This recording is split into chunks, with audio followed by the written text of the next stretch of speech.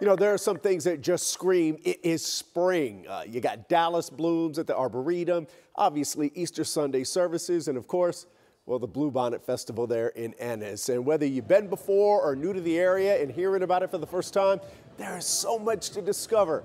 Mariel Ruiz is live in Ellis County with a look at what's going on.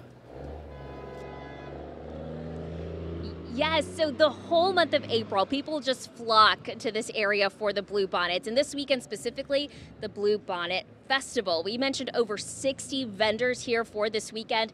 We're talking about Young Pig. And I've got the owner and chef, Scott Liner. Hi. Hi, how are Uh, good. So, okay, tell us, uh, you've got a display of your full menu. So, give us a rundown of what you've got. All right. Well, we do pulled pork, not barbecue, pulled pork, different flavors. We have orange juice flavored, rosemary flavored, coffee flavored, and what's the other one? Tequila flavored, which I'm sure would be popular with most people.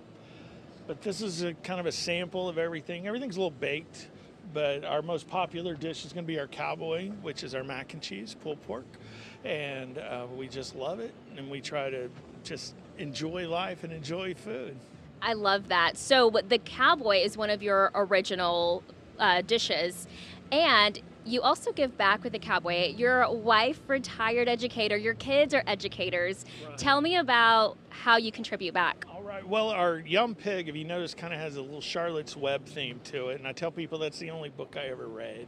So I think it's important literacy. If you can read, you can do anything. That's what our son says. So we take 50 cents for everything that we do with the cowboy and we buy books for kids. We've sold over 11,000 cowboys.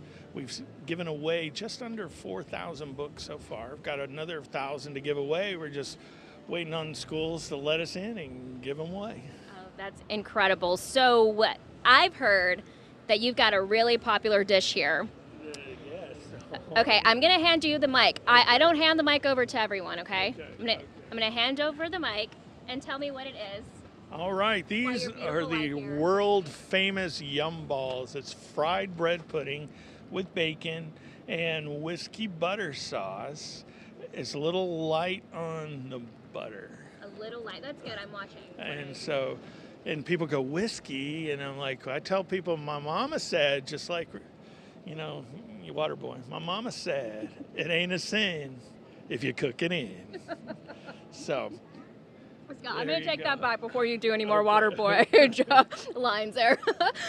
okay, so if you can, please come out. I mean, a lot of these vendors that I've met give back to the community. It's just incredible to see this uh, all come together. And of course, enjoy the blue bonnets. Tis the season, right? I'm going to send it back into you. It's been a little windy, Pete, uh, but the sun finally out. We had some cloud cover.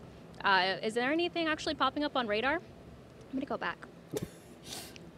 Who cares about the radar? All I care about is those those whiskey balls. Those she, look amazing. she needs to stop being a meteorologist. We're interested in it. Uh, it's got bacon in it. That's all I care about. Bacon and whiskey balls. Bacon and whiskey, manna from heaven.